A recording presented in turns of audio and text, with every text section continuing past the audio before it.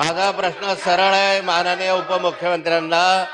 तर या ठिकाणी तुम्ही सचिवालय केलं मंत्रालय केलं नाही तर या सचिवालयाचं नाव बदलून परत मंत्रालय करणार का?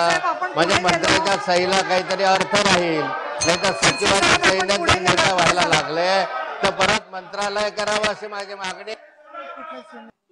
हे निर्णय आपल्याकडे बहुमत असताना का नाही घेतले?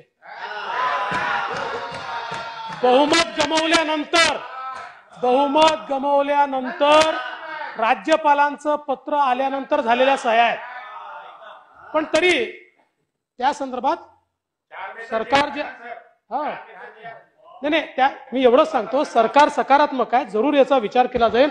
माननीय मंत्र्यांनी योग्य अशा प्रकारचा त्या ठिकाणी उत्तर दिलेलं आहे.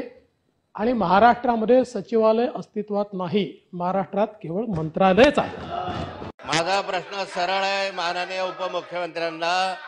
तर या ठिकाणी तुम्ही सचिवालय केलं मंत्रालय केलं नाही तर या सचिवालयाचं नाव बदलून परत मंत्रालय करणार का? म्हणजे मंत्र्याच्या सहीला काहीतरी अर्थ राहील. नाही तर सचिवाच्या सहीने निर्णय व्हायला लागले. तर परत मंत्रालय करावं अशी माझी मागणी. हे निर्णय आपल्याकडे बहुमत असताना का नाही घेतले?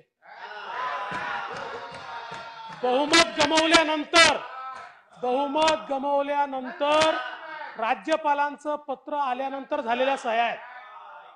पण तरी त्या संदर्भात सरकार जे हा.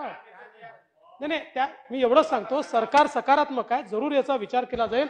माननीय मंत्र्यांनी योग्य अशा प्रकारचा त्या ठिकाणी उत्तर दिलेलं आहे.